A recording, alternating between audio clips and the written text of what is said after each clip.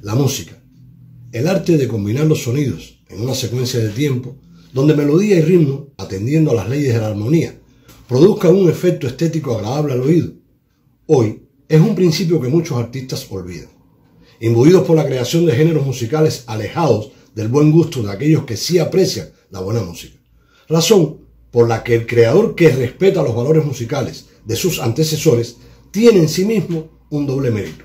Es el motivo por el que valoro de forma positiva, a la vez que siento gran respeto y admiración por el trabajo musical de David Álvarez, tanto en su condición de líder de la agrupación Juegos de Manos como en su faceta de cantautor. La obra de David Álvarez, así como su trayectoria musical, de sobra es conocida por los amantes de los géneros bailables, la trova tradicional y la canción cubana.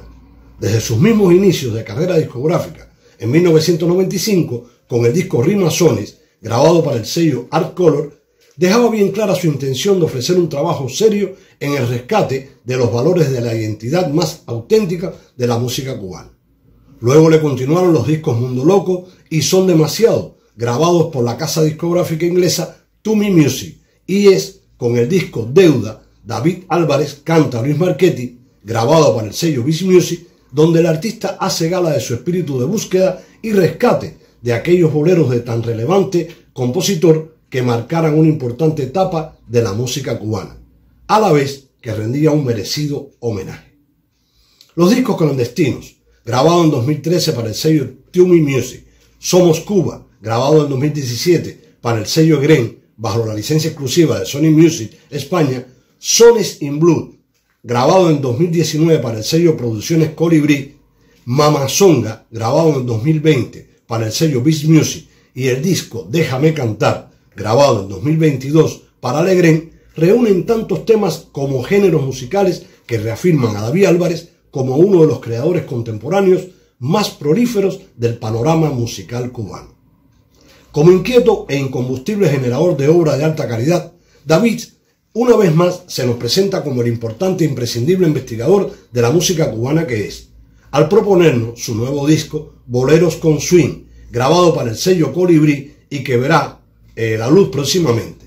En este disco encontraremos la utilización de letras y melodías de reconocidos boleros adecuados y ejecutados al mejor estilo del swing, ritmo que caracterizara la sonoridad de las grandes composiciones de la época de oro del jazz en los Estados Unidos. De este disco, hoy les propongo compartir una pieza que dice mucho de la buena intención de la propuesta. Se trata del tema Silencio, del compositor Rafael Hernández, tema que el realizador Onelio Larralde ha graficado con total maestría.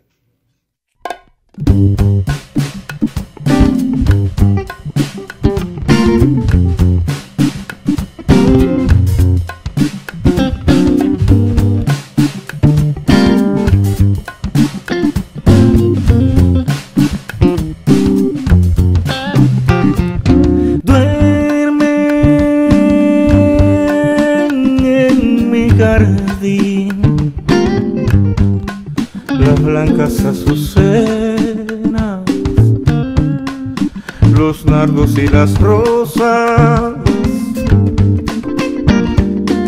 Mi alma muy triste y pesarosa. A las flores quieren ocultar su amargo dolor.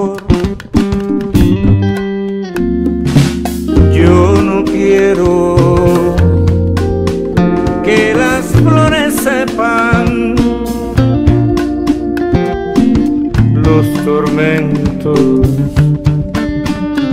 que me da la vida. Si supieran